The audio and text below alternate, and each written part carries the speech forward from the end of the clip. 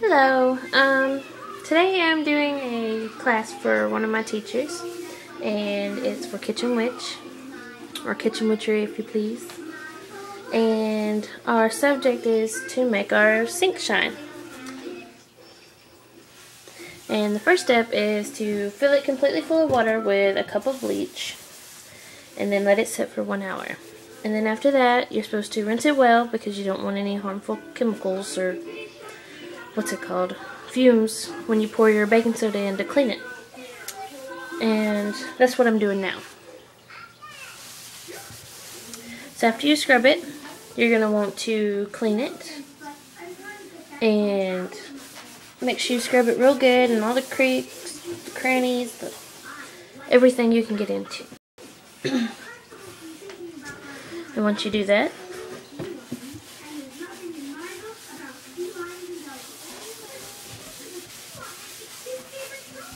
Okay, and then now I'm gonna rinse it.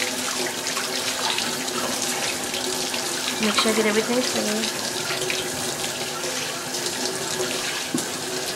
Because then afterwards we're gonna be putting Windex on it. Which is gonna make it shine so you can see yourself.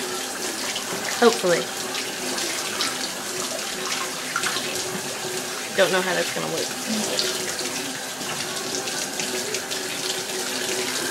Okay, I'm gonna get a dish towel and make sure it's dry, if I can find one.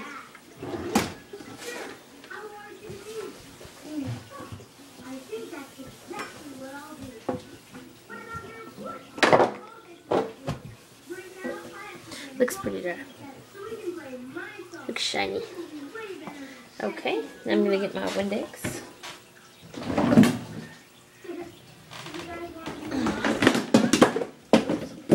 Making a mess while I'm doing this. Get your Windex. Spray it all in the sink.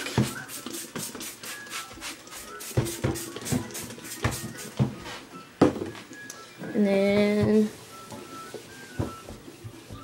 wipe it down.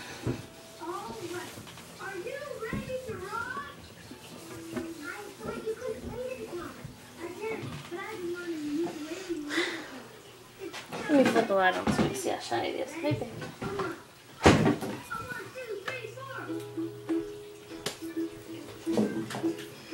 Looks pretty shiny compared to that one. So, and that would be how you shine your sink. Now I'm also going to go ahead and do a quick run around. We're also supposed to clean and organize everything.